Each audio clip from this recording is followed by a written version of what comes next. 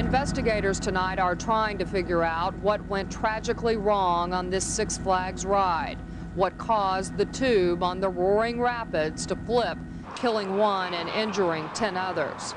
Six Flags and a variety of agencies, including the Department of Insurance, which is in charge of inspecting rides, have launched an investigation into the accident.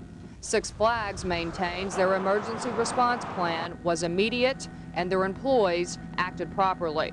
We had an operations supervisor who has been with the Fort Worth Fire Department for 25 years, and he was on site and he was administering life-saving um, procedures yesterday. But an eyewitness who performed mouth to mouth resuscitation on the woman who later died says she believes the employees who were operating the ride were ill prepared to deal with the emergency.